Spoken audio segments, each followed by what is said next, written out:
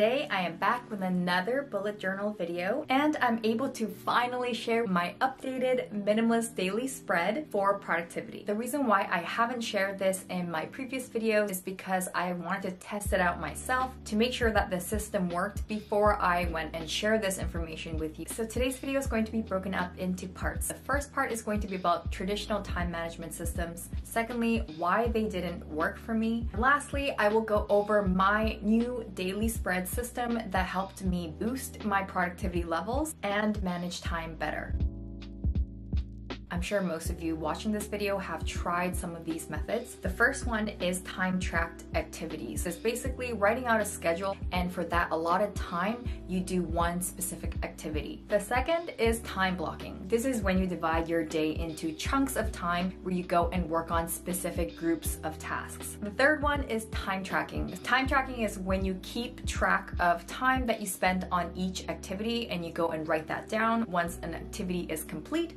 There are definitely a lot of benefits that I've seen from using these systems, but in the long term, I didn't find them effective. That brings me to my next point of why these systems did not work for me for time tracked activities where you slot a specific time for a specific activity, I found that really wasn't able to handle any interruptions and limited freedom of choosing other tasks that may have come up during the day. For time blocking, that's when you do a bunch of grouped tasks during a specific time frame. This way of time management is effective because it allows you to kind of batch tasks together. After doing this for a while, that it took me way longer than it should have to figure out which task needed to be done first or next or last. And for time tracking, where you go and write down the start time and end time of every single task, I just couldn't do it because it takes way too much time to write down every single activity that you've done in a day. Sometimes you're going to forget to write down what tasks you did and how long it took. The simplest way to manage your time better is not time management, it's actually attention management. So, with bullet journaling, I have found a way to kind of emphasize how I spend my time and what I want to devote my time to. Since today is a new day, we're going to be setting it up together. So, let's go.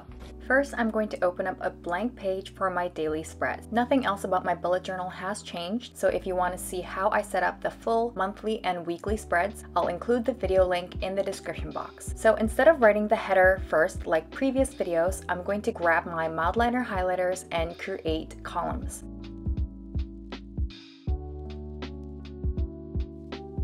After I create my columns, I'm going to go and write the header, today's date, as well as the day of the week.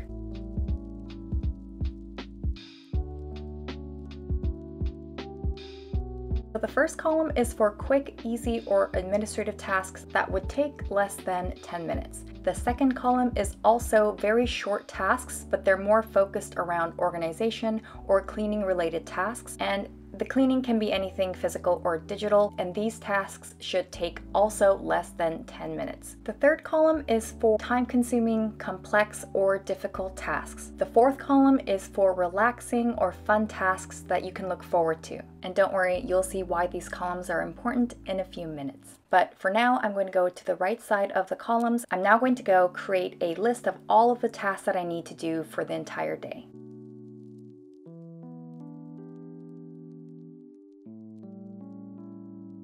So after creating my list, I then mark off check marks, or you can use a different symbol if you'd like, but I use check marks to show which column the task belongs to. I'll also go and put an asterisk beside tasks that are the highest importance or priority. So for example, put up ad for computer, that's a very easy task, so I mark the first column.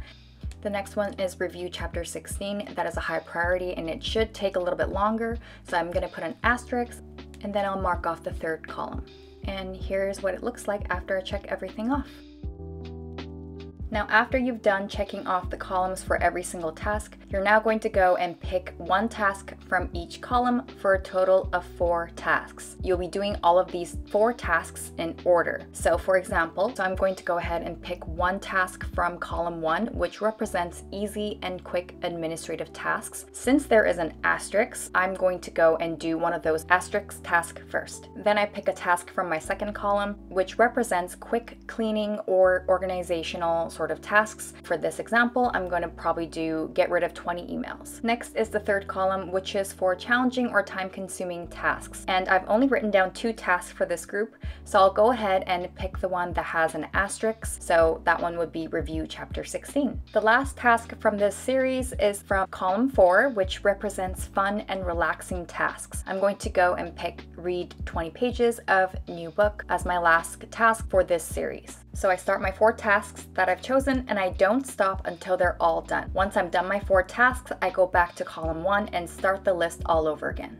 So why is this method effective? Well, the reason you want to do this in order is purely psychological. First column is just a bunch of tasks that are really easy and mindless. It doesn't take much effort. After you complete a task, you started that momentum of getting something done. The second column is for cleanup or organization tasks. This can be anything digital, like cleaning your background screenshots or tidying up your desk. So now it's time for the third task, and since you've already built up that momentum of productivity, you're ready to tackle a harder or lengthier task. After that third task, you may need a break or a small reward since you just finished something big. So that's when the fourth column tasks come into play. The tasks from the fourth column are rewarding, relaxing, or just fun, but we'll continue that chain of productivity. If there are any interruptions during the day, that's totally okay. I let these interruptions happen, but as soon as I can get back to my list of tasks, I return to where I left off in the chain as quickly as I can. I think one of the reasons why this works so well is because you're really just sprinkling in fun tasks and mindless, I guess, tasks as well in between to not make your day feel so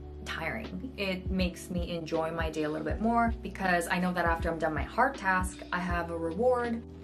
Yeah, let me know if you decide to give this a try and let me know your thoughts, what worked for you, what didn't. Thank you so much for watching. Please don't forget to like and subscribe to the channel because it really does help my channel out and I will see you in the next video.